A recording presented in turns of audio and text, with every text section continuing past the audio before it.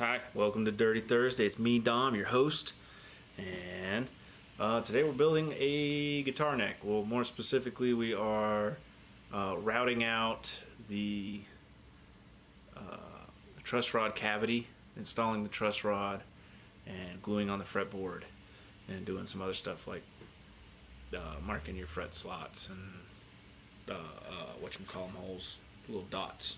Yeah, dot holes, fret dots, markers, those things, whatever.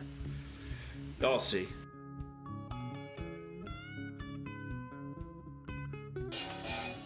Okay, so what we have here is neck. What I did is I cut it out of a piece of walnut with a template, and then I kind of cut down uh, where the headstock's kind of going a little bit. Just took a little bit of the wood off. It's got to go a little deeper than that, but yeah, that's uh, that's almost it. So what we're gonna do today is where this white line is. Ignore these yellow lines. That's just something stupid I did.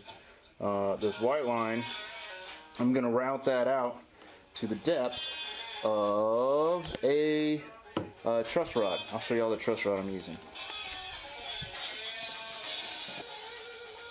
Alright, see if we can get it to focus. Come on. Alright, this is a spoke wheel uh, truss rod. And essentially, if you don't know what this does, um, this will go inserted in the neck right there, and there'll be an access on the fretboard where you'll be able to stick um, anything in there, a screwdriver, a ice pick, a nail, a screw, whatever's round, it'll fit in there. You can stick it in there and make your truss rod adjustment. I love these as opposed to the standard truss rod, because standard truss rod you've got to make an access port here, and then from your access port um, you have to have a uh, very specific sized Allen key that'll go in that hole. These are super easy to install in my opinion and yeah they just make a, a great great uh, truss rod for your neck. So right here on the side of my um, my jig I have a, a measuring thingy-majigger. Basically I want to do three passes so I took the width of the uh, look at that. The width of the truss rod. You can see here the width of the truss rod and then I divided it into three sections. So my first pass is going to be this deep, my second pass will be this deep, and my final pass will be whoop, will be that deep. And what I'm essentially going to do is I'm going to run the router. The edges of the of the router base are going to slide up against these to keep it center, and it's going to go down. And then I'll just pass it again, pass it again, and these clamps keep it keep the neck in place as long as I make sure and lock them. All right. All right, so I'll take my first pass here. Um, trying to be careful. This jig isn't perfect and it still kind of moves around on me a little bit. So you see me adjusting, making sure it goes back straight. Luckily, once you glue the fretboard on, nobody sees how uh, messed up your jig was.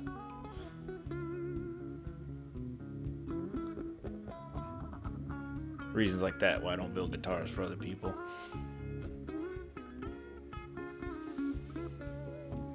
Yeah, taking my measurement, making sure the uh, bit's set right. Nice and easy. Do it again. There we go. Yep. Right in there. Nice and easy.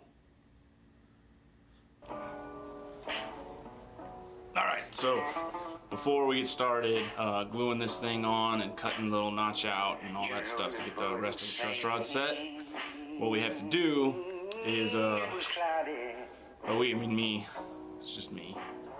Uh, I need to mark and cut my fret slots for my frets. So This is uh, pretty, shut up man. This is a pretty tedious process, so Uh, there's two different ways really to do this. Uh, one is to, um, you can print up the formula for the length of your, um, how do you call it? The length of your, It's a scale length. uh, uh, That's what it is. You big dummy. Scale length. The length of your scale. What I'm trying to say is the distance between the nut position and the bridge position because that determines where all of your little frets go on the fret on the fretboard. Um, I typically just stick with the fender. Um, how the fuck am I not remembering this word? Scale length? What? It's gonna come to me. All right. Anyways, um, but so because I use the a standard one pretty much all the time, I am just going to use a template. Um, I have one for a Gibson and for a Fender, and so that's what I'm gonna do next. Okay, so I have my template here, and what I did is I lined it up at the nut, and if you can see, there's a lip between it and you can see where I have uh, been marking before and I'm to go through and I'm going to mark out each fret position as accurately as possible.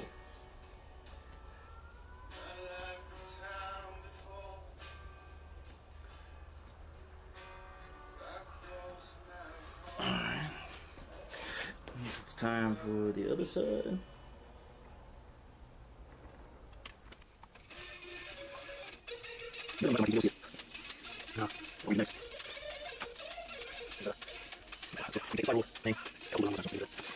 good.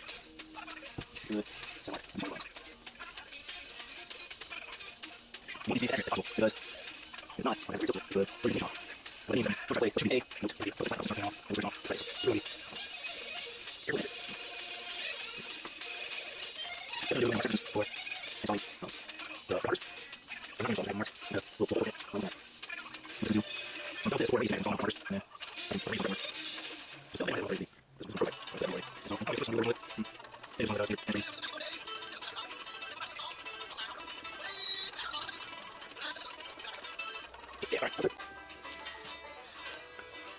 Now I've got that marked out. You can see, got that marked out. What I'm gonna do is I'm gonna come in and I'm gonna cut with a big uh, razor cutter. Uh, I'll show you all what I'm talking about. Okay, so this is cheap. I got it on Amazon for like seven bucks or something like that. It's just a little Bic uh, razor saw. And I'm gonna take these and one by one.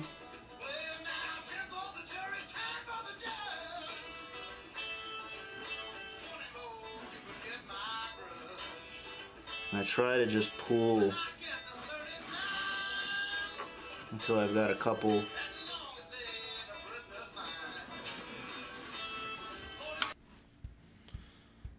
yeah. So here, just working down, working down the fretboard, cutting the frets as straight as I can.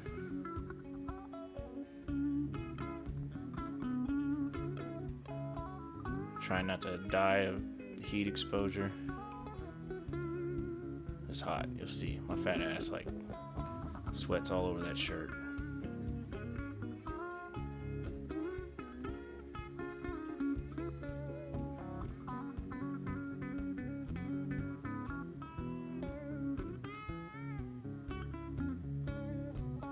This is always nerve wracking because, especially if you have an ornate fretboard, because if you kind of mess this up, it's it's hard to like fill it back in and get the grain pattern back on. There's ways to do it, but the bugs crawling around in my hands.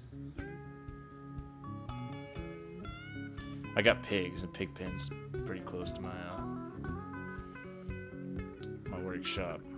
So there's all sorts of neat little creepy crawlers. Y'all see one here in a little bit.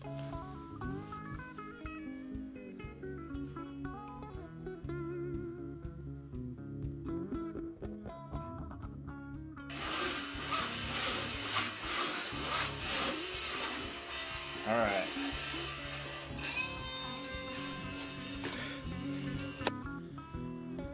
Yep, back at it. So here, marking the um, place where I'm gonna put the fret markers. I'm using um, brad point bits. Watching myself do this, I realized the easiest way for me to, to line this up would have been to flip that thing over and make sure all the the fret lines lined up with my fret lines but it still got it done. So I actually installed the fret markers today and I filmed everything, but I lost the footage, so uh, the whole getting the fretboard flush and all that, and then gluing those fret markers in, y'all are gonna have to miss that part. It's pretty easy though, just table router and drill press. Scaling. Hey, you got That's it. the word I was looking for. Scaling. Yeah. Scaling. Go Dom. Yeah, that'll make sure the scale length here.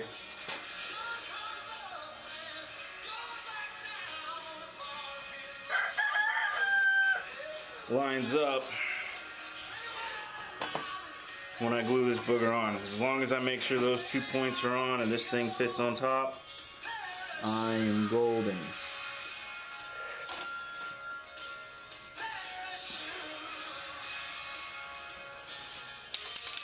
Do that, help me see. I'm going to use a paint marker.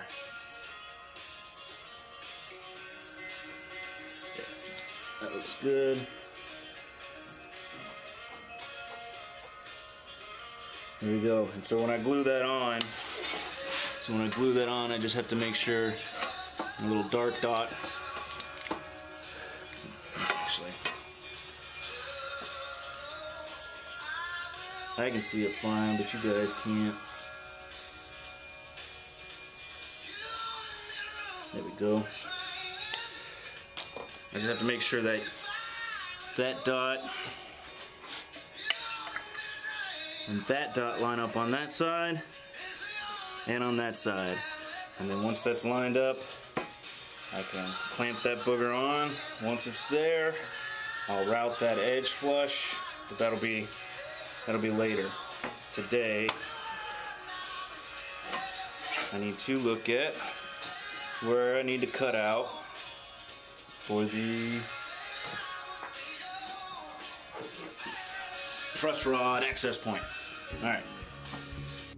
This point found out uh I routed that too short. Is me showing you how I'm gonna fix it. Okay, so like we did before, or like I showed you, I'm gonna line up this yellow dot and that yellow dot. Make sure that's sitting on top of it. Right here, camera, come on. Don't focus on the trash on my floor, dude. Focus on this. There we go. All right. So, once I have that in place, I'm gonna go here. I'm sweating all over this thing. It's hot. This is Texas. Deal with it. All right. And then up to there. That looks like it'll work. All right, let me go cut that out. Alright. Cutting it out. This was a pain in the ass. I don't know why. I don't think I've ever had this much trouble cutting out one of these things before. Maybe it's just because I was filming myself doing it. But yeah, pain in the ass.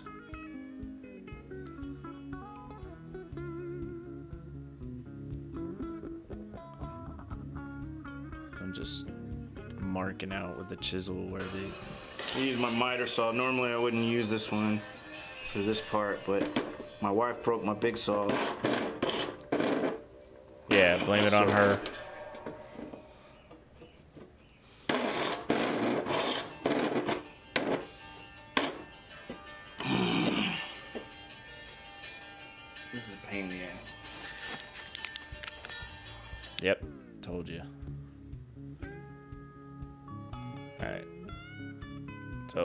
Finally get it free. Actually ended up using the drill press, kind of like rat out the holes and then um, break it free and then file it down the edges. That's what I'm doing here. Told y'all my shirt was gonna be coated. All right. Got it notched out. Now,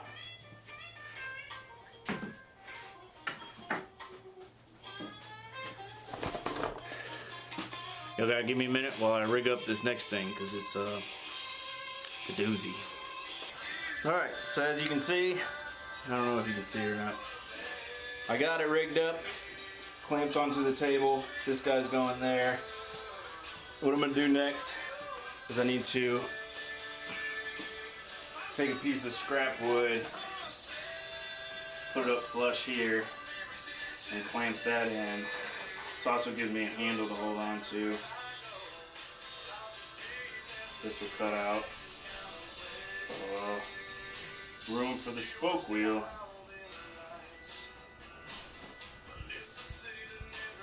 Wish me luck. Good luck. Look at that guy. He ain't nothing but gut and butt.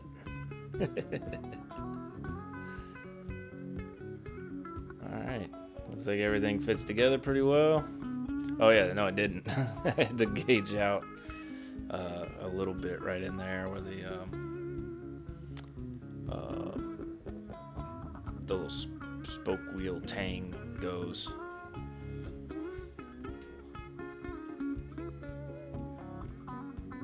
Yep. All right, now everything kind of fits. All right, so I'm filing. I'm filing down the edges so that way it's not just a small little window, I did on the fretboard actually lines up with uh, the neck wood.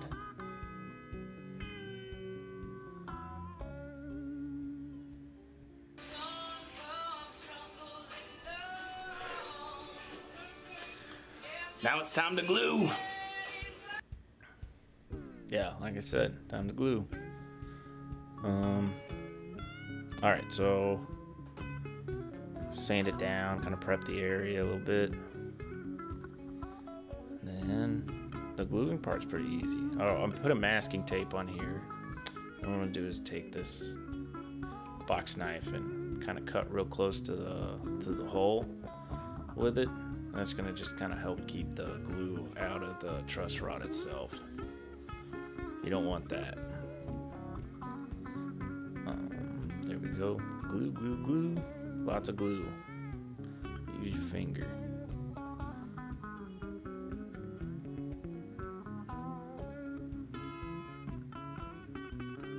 Can use things that aren't your finger, but I like using my finger.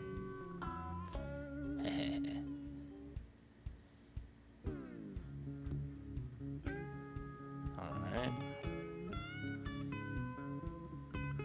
Putting on two outside clamps. And then I'm gonna go get a piece of block of wood. But when I pull up that block of wood, lo and behold, I find Be careful. That's the that's the dangerous one right there. it's a little brown recluse. Yeah. I squished it. His friend was still hanging out though. I'm pretty sure they were gonna try to eat each other. That's the third brown recluse I found. So if you ever come pay me a visit and you find me like I don't I don't know what brown recluse bites do. But if you find me in a weird state, foaming at the mouth, paralyzed, whatever, uh, it's probably a brown recluse. I guess I could go figure out what the hell they do. Oh, here I come. Big old gut.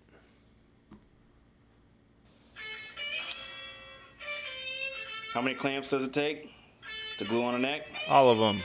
As many as you have. Should probably use more than what I got there. That's it. We're done for the day. I'll go clean my nasty ass and